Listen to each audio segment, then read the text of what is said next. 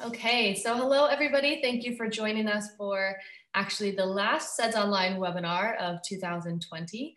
Um, today we will have a presentation by Clara Blättler, but first I wanna thank IAS for the sponsorship for SEDS Online.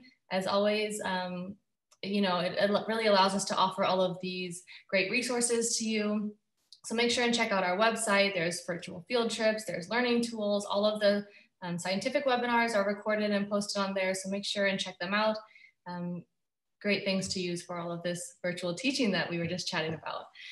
So today, as I said, we have Clara Blättler, who's an assistant professor at the University of Chicago. And Clara received her bachelor's degree from Harvard before attending Oxford for a PhD and heading over to Princeton for a postdoc fellowship. Her research uses geochemical tools to explore the interactions between oceans, sediments, and the climate system. Today, Clara is going to talk to us about archives of glacial seawater and implications for carbonate platform sediments. And with that, Clara, I give you the mic and look forward to a great presentation. Thank you, Chelsea, and hello to everybody, wherever you may be. Um, I'm excited to share with you this story of discovery. Um, I hope by the end of this, I'll have convinced you that we have, for the first time, um, been able to sample ancient seawater that preserves a lot of the properties of the glacial ocean. Um, this is the most direct samples we have um, of those conditions. And so I'll explore some of the implications for paleoceanography and for carbonate sedimentology. So the glacial cycles, oh, I should have first said that this is an image of a reconstruction of um, the Northern Hemisphere ice sheets during the last ice age. Where I am in Chicago, we would have been covered over with glaciers. Um, and when you extract this water from the oceans to put it into these expanded ice sheets, you drop sea level and you make the oceans saltier. And you also end up removing preferentially lighter isotopes of oxygen isotopes and enriching the ocean in the heavier oxygen isotopes. And these oxygen isotope trends have, were the reasons why that we understand these uh, glacial cycles to have been um, cyclical over the Pleistocene. This is one of the early records um, from the 50s using measurements of oxygen isotopes, here interpreted to be um, a record of temperature. And you can see the now familiar cycles going back in time. These all now have nice uh, names, uh, marine isotope stage names. And it was debated even from this early records, um, how much of this record was controlled by temperature versus the composition of the ocean changing. Um, to orient you here, this is the modern, um, going back in depth or in time. And this minimum here would be the last glacial maximum, around 20,000 years ago.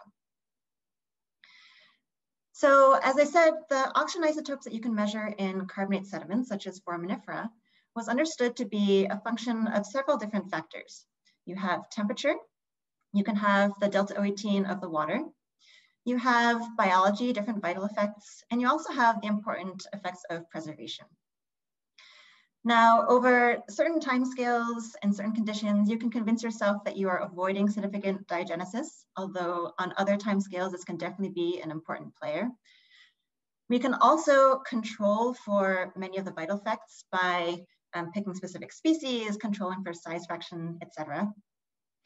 And so then at the end of the day, we're left with these two main factors, temperature and the ocean oxygen isotope composition that are going to be influencing the carbonate records that we can measure. And it's actually been debated which one of these dominates the signal. Um, Emiliani concluded that it was mostly temperature based on some assumptions about ice cap composition. And later on, Shackleton actually concluded that it was mostly the seawater composition changing.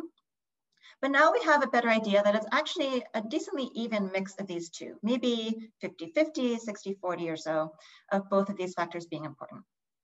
And we can say that from um, a couple different, because of a couple different observations. One way to do that is you can have independent estimates of temperature from your favorite temperature proxy, magnesium to calcium, alkenones, um, pick your favorite one. And if you can constrain temperature independently, then you can reconstruct um, the remainder of the signal that is in the ocean water. Or alternatively, you could try to reconstruct the composition of the ocean oxygen isotopes from sea level estimates and then back out temperature. Or you could also use um, this method that I'll call the diffusive pore fluid method to understand the ocean seawater composition change, and then again, back out temperature from this record. And I want to talk a little bit about what this diffusive pore fluid method actually does. Um, so here you see pore fluids, um, their oxygen isotope composition measured um, in a core. This is the sediment water interface here at the top. And when you go down, you actually see this increase in oxygen isotope composition, somewhere between 20 to 50 meters depth. And this is the signal of the glacial oceans having had a higher oxygen isotope composition, and that signal diffusing and attenuating as it penetrates into the pore fluid sediment column. Now the boundary condition at the top has jumped back to its present values, but this signal is still preserved, um, albeit in an attenuated form at depth. And you can model diffusion in this kind of sediment column and arrive at a solution for what that glacial seawater composition would have been like. Here is another slightly higher resolution data set doing the same thing. You have this peak in oxygen isotopes in the pore fluids um, at a few tens of meters below the sediment water interface. So this diffusive pore fluid method was really important for pinning down what this ocean composition was um, and allowing us to assess the temperature contribution to carbonate oxygen isotope measurements. But it was also powerful for another reason, because you can do the same type of analysis with chloride in the pore fluids, which scales with global salinity. And again, you can see here that there's this subsurface peak in the chloride in the pore fluids in these sediment cores. And so from the same pore fluid measurements, you could get chloride and oxygen isotopes of the glacial ocean. And since chloride scales with salinity, you have controls on temperature and salinity, which gives you the density of an ancient bottom water mass. And this is really key for paleoceanography because you can start to reconstruct what the density structure is of the glacial oceans and how circulation might have worked. And this was put together by Jess Adkins. This is a plot, um, 2D space of potential temperature of salinity. And so here you can plot all these different water masses from, these are modern water masses that have a range in temperatures and a small range of salinity with density increasing here to the lower right.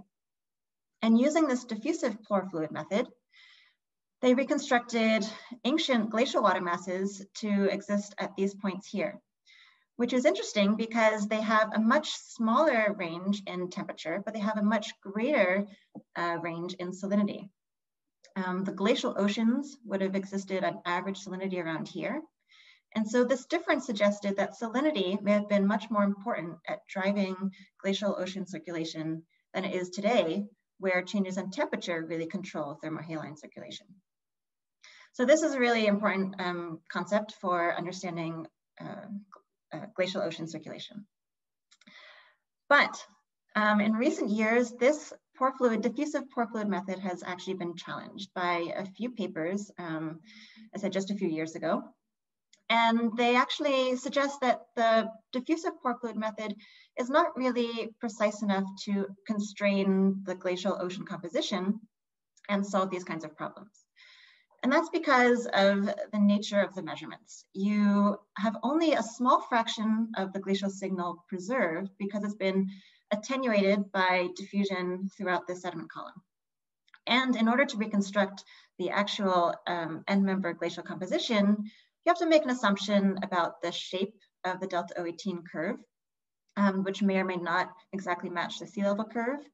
You also have to make assumptions about diffusivity and advection at your pore fluid site. And so all these um, uncertainties add up such that the conclusion of these recent papers is that this diffusive method is mathematically unable to resolve the salinity difference that I showed before. It doesn't rule them out, but it maybe isn't a strong enough piece of evidence to start to reconstruct those um, glacial water masses in that way. So this leaves us wanting um, a more direct measurement of what the glacial oceans may have been like. And so I'll uh, show you now going ahead that I think we have found um, one such location where we have pretty pure sample of the glacial oceans that um, gets around some of these uncertainties in this diffusive method. And so this discovery came from um, a cruise I was on on the JOIDES resolution in 2015. This is the workhorse of the um, scientific ocean drilling, has been sailing for decades, producing a lot of really important results. This, um, as anyone who's sailed before knows, there's an amazing amount of effort from a lot of people involved to get these expeditions um, underway. And so this is um, a good fraction, not totally everybody, of those that sailed with us on this cruise. So we sailed to uh, drill in the Maldives. This is this island chain in the Indian Ocean, just north of the equator. And to zoom in, we have two rows of atolls surrounding an inner sea. And zooming in once again here, we see our drill locations marked here. I'll be talking, I'll be showing data from the locations in red. And so this inner sea is around 500 meters water depth. There are seasonally reversing currents that um, wash over this platform. And we have in particular this channel here in between these two active atolls, and then this basin area um, that we also have drill sites in. So I'll start off by showing a transect through these three sites in this channel. This is an east-west transect. These are the seismic reflection data. The seafloor here, I said, is around 500 meters.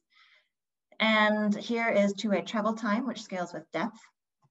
And so I can toggle back between the interpretation and the raw data, and hopefully you can see some of these features for yourself.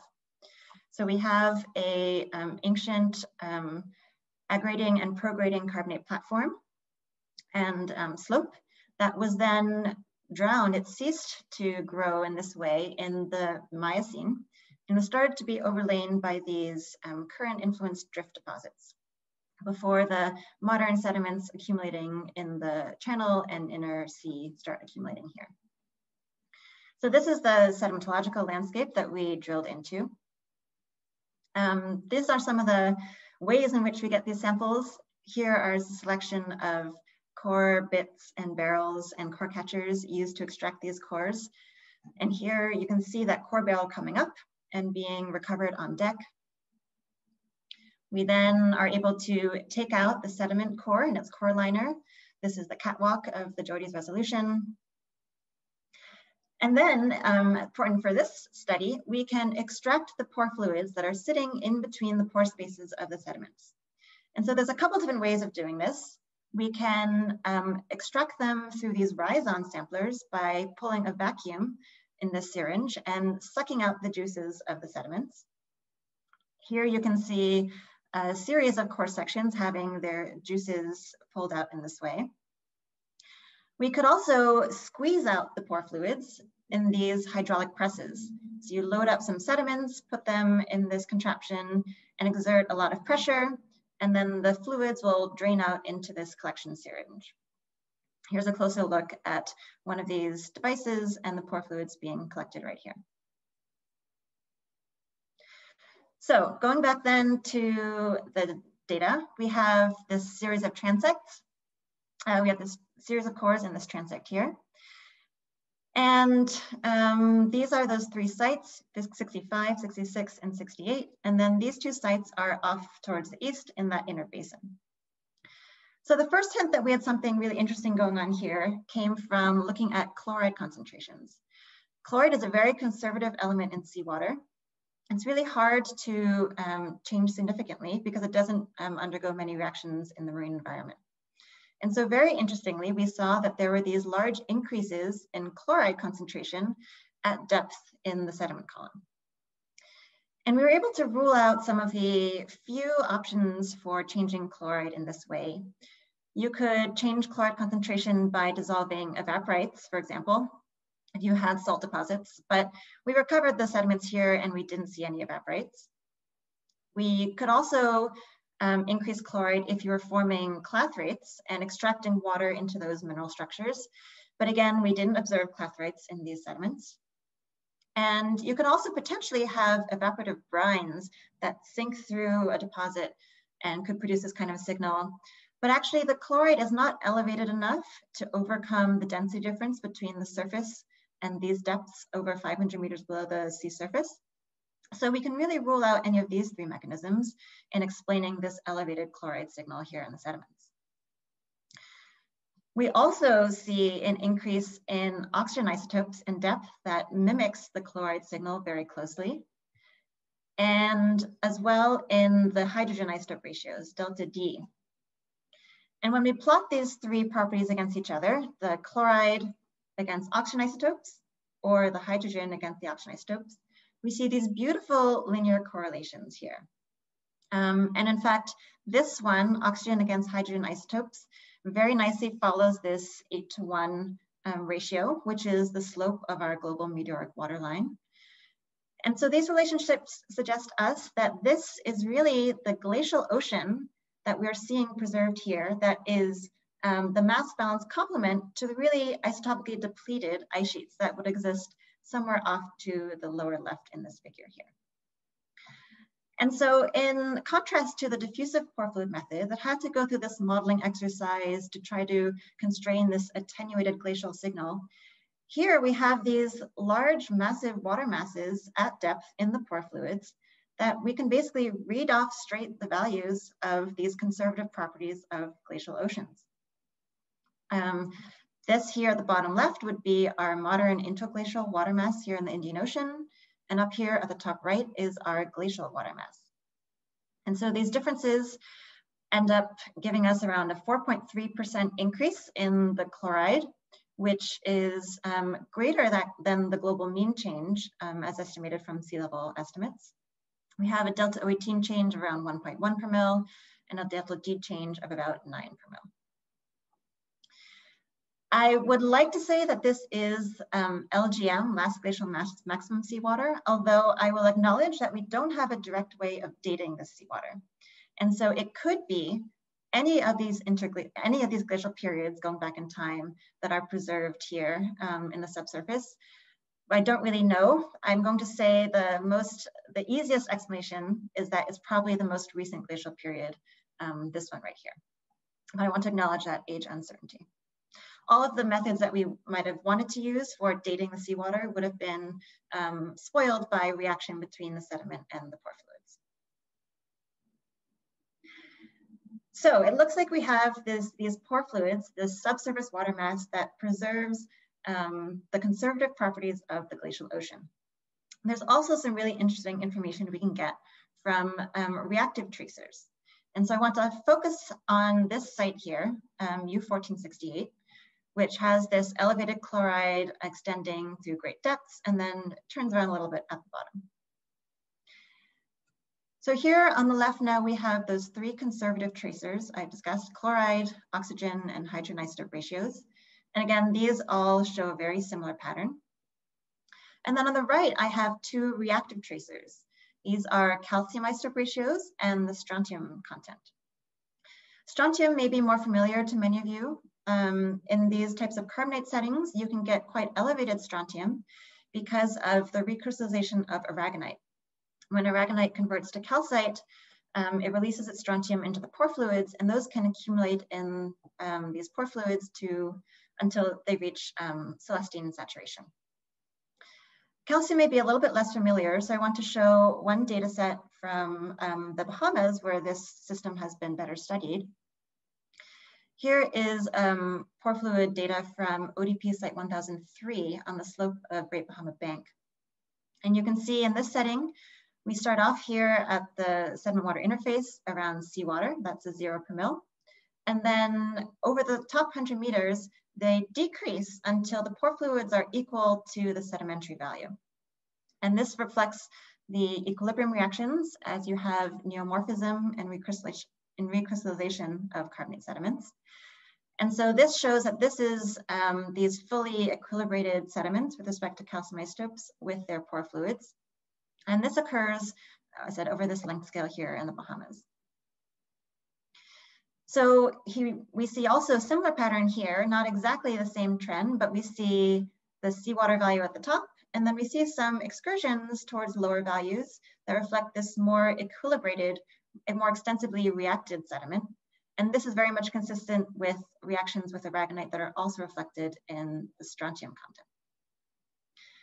Um, we also have some measurements from the sediments that I won't show, but they exist down here. So again, this suggests that this water mass here is pretty equilibrated with its host sediments. We can plot these two reactive tracers against each other.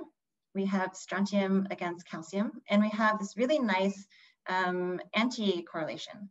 It's not a perfect linear one-to-one -one relationship, but actually we wouldn't necessarily expect that to be the case because you can have different end member sediments that are recrystallizing and ending up with different end members. And you could have different slopes if you have higher or lower aragonite content, for example. But we can identify the end members. So in this cross plot, we have our modern unreacted sediment here at the lower right. And we have our older and more extensively reacted sediments, more equilibrated sediments at the upper left. And we have these interesting trajectories as those water masses are reacting with their host sediments. So I've shown a few conservative tracers and I've shown a few reactive tracers. And so um, I'll challenge you to imagine, if you could, what it might look like if you plotted a reactive tracer against a conservative tracer. This is the strontium concentration against the oxygen isotopes. When I plotted these for the first time, I was um, pretty surprised because this cross plot looks nothing like anything I'd ever seen before. Um, it looks like this. I like to call this my goose plot because I think it looks a little bit like a goose. And um, as strange as this looks, I actually do think that we understand what it means. So let me try to walk you through what this strange cross plot actually um, tells us. So it identifies at these corners, it identifies the different water masses that exist in the subsurface in these pore fluids. The head of the goose is this modern unreacted seawater and looks a lot like the Indian Ocean water that is bathing the current Maldives. And this wing of the goose is our glacial, extensively reacted or equilibrated sediments, right? It has elevated oxygen isotopes and it, um, from that glacial saltier ocean, and it has elevated strontium because it's had aragonite reacting with those pore fluids. But interestingly, we also have these other water masses that we identify. We have a glacial unreacted water mass here. So it has elevated oxygen isotope, but it hasn't accumulated a lot of strontium yet. And we have this interesting wingtip that looks like it is an interglacial water mass. So modern-ish delta O18, and yet it's accumulated a lot of strontium along this path.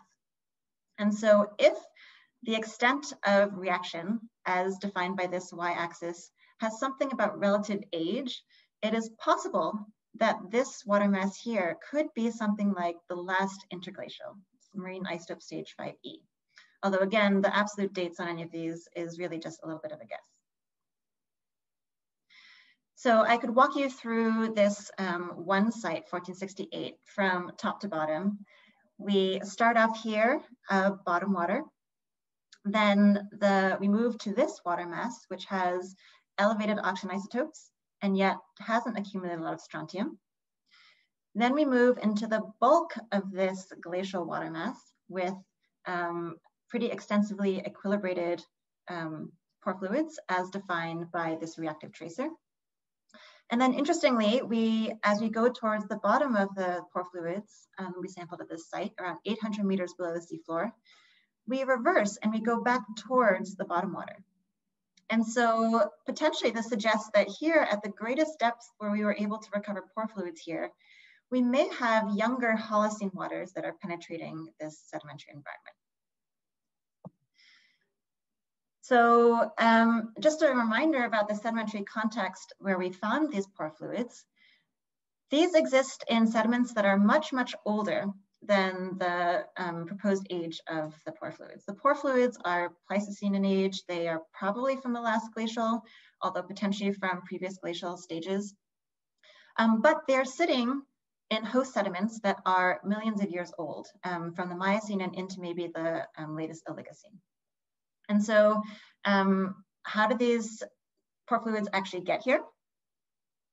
We think that there is probably a Kohout type convection system here, driven by hydrothermal heating from residual heat from the Paleogene volcanic basement, on top of which this sedimentary carbonate edifice of the Maldives has been um, built.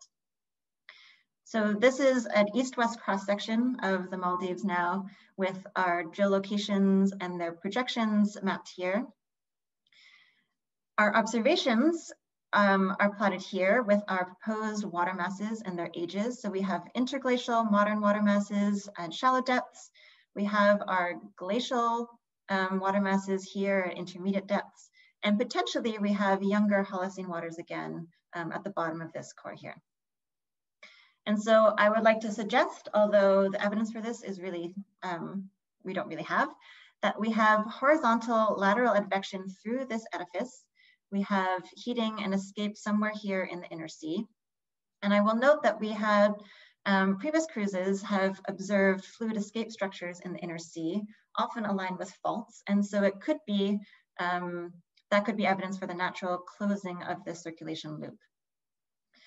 Um, in order for this to be last glacial maximum seawater, I will say that this water will have had to move laterally through the Maldives sediments um, covering around 25 kilometers in around 20,000 years. And so you could do the math. That would give you a flow rate of around a little bit over a meter a year, which seems pretty high relative to um, a lot of advection rates um, in other sedimentary systems. But it's actually not crazy considering a lot of groundwater flow systems that I've looked into. And I also want to note that we had extremely high porosity in the system. We had up to 50% porosity preserved down to 800 meters below the seafloor here. And so potentially this unusual observation could um, help promote or be consistent with the flow required to get this glacial water mass preserved where it is today. So I don't, um, I'm not going to show too much data about the actual sedimentary composition, but I do want to say that if we have these Pleistocene age waters penetrating these Miocene age sediments, there's just a lot of opportunity for focused diagenetic alteration. Um, depending on the specific flow paths, which are dependent on porosity and permeability patterns, on the sedimentology, on grain size. And so um, there is some evidence for um, targeted zones of alteration at some of these sequence boundaries, definitely here at the drowning point of this carbonate platform reef. Um, and this is ongoing work to look more closely at the sediments and try to understand in this advective regime if we can piece together the diagenetic story in the sediments.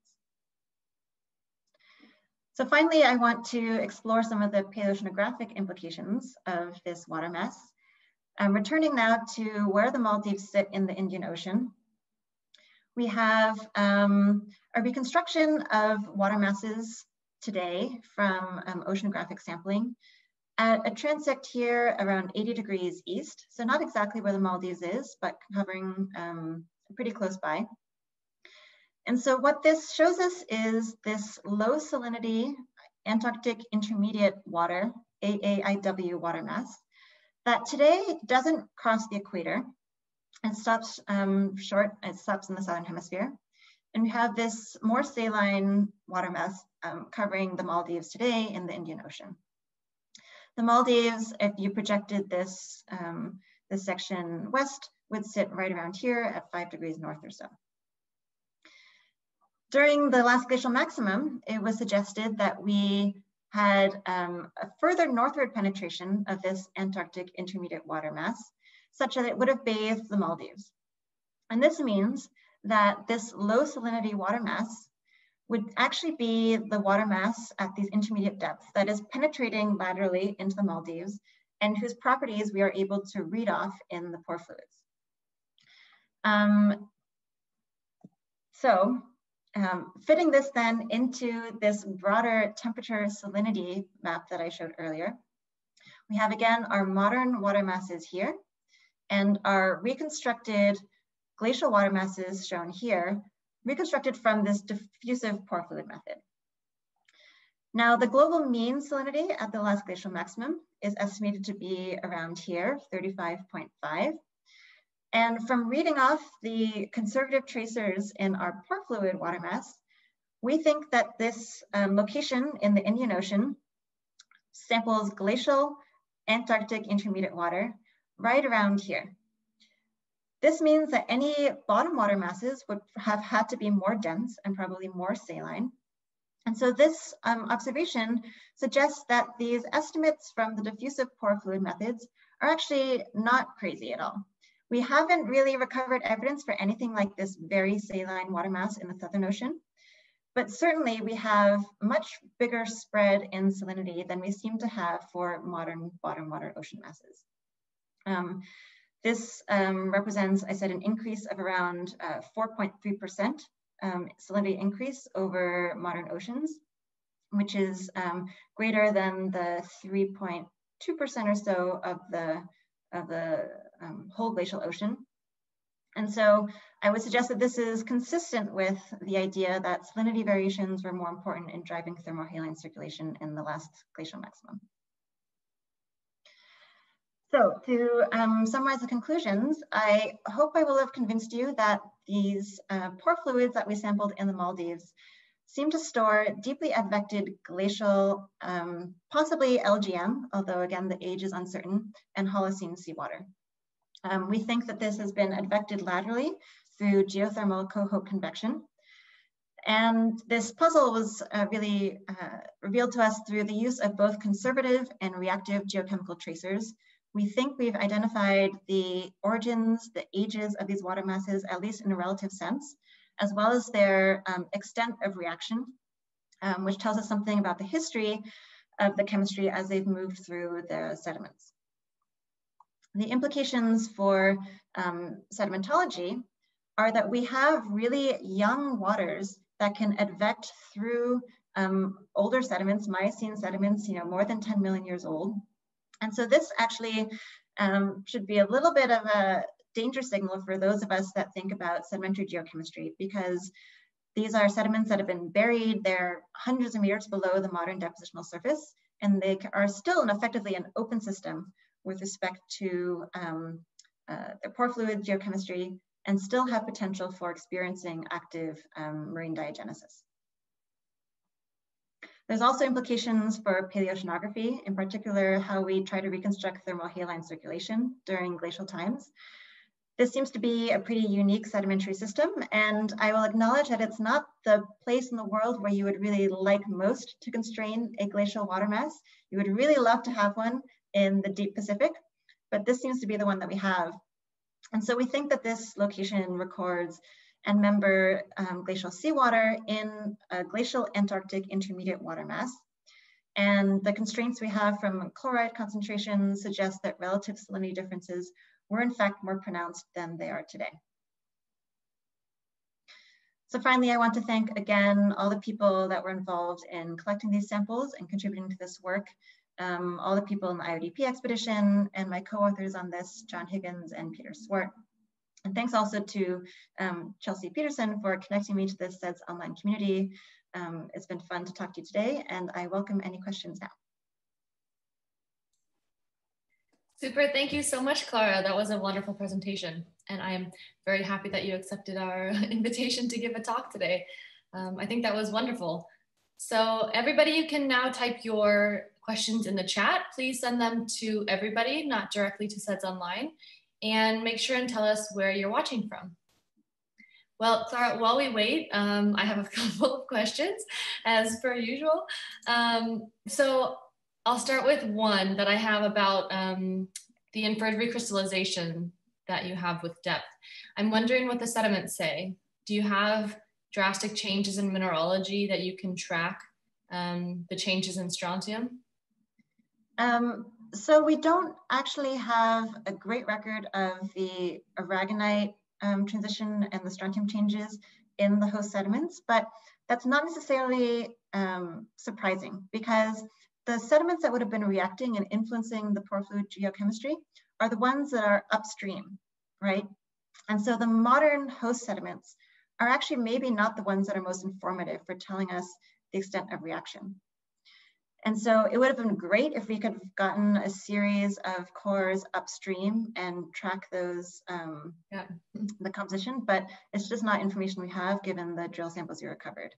But I can say that there is a clear decrease of aragonite concentration with depth. So if you believe that aragonites would have been depositing over these time intervals, then they are gone, they have been lost. And so the strontium would have ended up somewhere, potentially in the pore fluids. And we also have um, some dolomitization at some horizons. And so there is definitely sedimentary diagenesis that we can observe through changes in mineralogy. But we don't really have a great control on the upstream sediments that are the ones that are actually doing the work. Mm-hmm. So you guys didn't drill in those upstream sediments then, unfortunately. No, we were drilling for different purposes to reconstruct the facies and age date um, these uh, great deposits. So um, yeah, they weren't drilled with in mind with expecting to find this. Um, these types of trends, yeah. yeah. Sure. Okay, I know we have some questions coming into the chat now. Um, Rachel Wood has a question it seems like she had the same thought process as I did. So sorry, Rachel, for snagging that underneath you. Um, but so hopefully now, uh, yeah, everybody understands a little bit more of what might be happening with those sediments. Um, Ola, coming from Newcastle, says, fabulous talk, very inspiring. Thank you, Clara. Um, okay, good. So while we're waiting for more, I had a couple more questions for you. Um, so in the calcium plots that you showed, the calcium isotopes decrease with depth, but then they actually replenish a bit at the lower parts of the plots. And I'm just curious if you want to mention something about what might be causing that shift towards yeah. so, value. Yeah, so this is my suggestion that we may have a younger Holocene age water mass penetrating here at around 800 meters. Um, mm -hmm. um, that is underneath a older, more extensively reacted, maybe slower advecting glacial water mass here at these depths. And as you can see, basically all of these tracers reverse towards this 800 meter mark, um, towards, um, towards values that are more consistent with um, modern bottom waters, modern ocean waters. Mm -hmm. So the conservative tracers turn around, they look more like interglacial waters the calcium and the strontium reactive traces also turn around and look more. So it looks like this is younger, less extensively reacted water, which means that this um, depth profile doesn't preserve the relative um, age uh, pattern with you know younger on top, older below, but there's a really complex structure of advective water masses moving here, sometimes um, mixed up in uh, terms of age and depth depending on the flow paths that might be available for them. Okay, and then you you're assuming just a mixing from the in, the water is being input at say what is that 800 meters? Yeah, it looks like mixing, mm-hmm. particularly this really linear relationship in strontium looks very much like mixing, um, diffusion between this water mass here and something potentially younger below. Yeah, okay. Um, and then one sort of connected question then I would um, ask about that. So you did show some, I think it was Paleogene volcanic um, basement below your sediments. Yeah, exactly. Is there any way that you could have brine fluids coming up um, from any of the, the volcanic basement where you could be, or, yeah, inputting some of that strontium and causing we could, yeah. I would say that um, the good agreement we have between multiple conservative tracers and multiple reactive tracers kind of points us to the process that I've described as opposed to volcanic brines or something like that. So for example, if you had um, strontium source from the basement, we haven't measured strontium isotopes on this, but that would be an obvious way to try to test mm -hmm. that. Yep. Um, but you wouldn't necessarily expect that the calcium would um, be responding in exactly the same way. Um, it's very consistent actually with the slope of different um, calcite or aragonite end members dissolving. Mm-hmm. And you probably would expect different relationships with um, volcanic sourced uh, fluids. And also just in the conservative tracers, we also have this, this great agreement between the oxygen isotopes and the deuterium and the um, chloride and so again, if you were mixing in volcanic uh, source brines, you'd probably expect very different behavior in oxygen isotopes that mm-hmm. would destroy this really nice relationship, linear relationship that points us to this being a glacial water mass. And so um, those um, multiple uh, tracers really uh, give me confidence that these are the main processes that are uh, dictating the geochemistry as opposed to a volcanic brine. Yeah. Does, um, do, does anybody plan to measure the strontium isotopes? Um, I could think about doing it one day here, maybe. Would be so, interesting just to check, but yeah, I mean the expectation, right, would be that the strontium isotopes reflect Miocene age sediments. That again, those upstream sediments, wherever the mm-hmm. aragonite mm -hmm. is, that is dissolving. Yeah. Um, that let it actually it could be anywhere from Miocene to modern. We don't really know the age of the sediments that would have interacted upstream. but that would be the prediction. Yeah. yeah. yeah. Um, okay, we have a question from Stephen in the chat um, coming from Wales. So sorry if you missed this, but how realistic are the flow rates of one meter per year within the platform? So this is reasonable um, for lots of people that study groundwater um, and uh, you know terrestrial hydrologic systems and carbonate sediments. Um, in fact, it's on the low side for a lot of those flow rates. It does seem high relative to the advection rates that were estimated in the Bahamas, actually, based on uranium series evidence. Although I would suggest that some of those data come from these very limited, um, more superficial circulation cells that aren't necessarily on this large scale. And so given the porosity that we see, um, we don't have lateral permeability type uh, measurements to constrain it, but um, based on large scale circulation systems of this sort in carbonate sediments, this doesn't seem like an unreasonable number based on um, groundwater hydrologists I've talked to. But I defer to others, maybe someone else in the audience has a better idea of that. Mm -hmm. Okay, um, we have Bill coming from cold Ottawa. Sorry, Bill. um, he wants to know if porosity is irrelevant with or invariant with depth, since it's 50% at 800 meters, or is it more extensive dissolution associated with deeper Holocene fluids? Whoops. Um, let me just pull up this slide. So this is the porosity data. Um, it's pretty invariant. Um, it decreases from the surface to around 50%. It stays there for most, um, most of these two cores. Okay, so pretty steady with depth then it seems. Pretty steady, yeah. Yeah, 100 meters or so. Okay, any last questions? Make sure and get them into the chat now. Give everybody one more minute. Okay, well with that, um, Clara, thank you so much for this presentation. It was, um, it was really great. And everybody joining us for this week's webinar, remember that next week we will be taking a break from our scientific webinars as we'll be hosting the BSRG. And please check back in with us in January for our scientific webinars starting in 2021. So have a wonderful holiday season if we don't see you and um, we'll talk soon.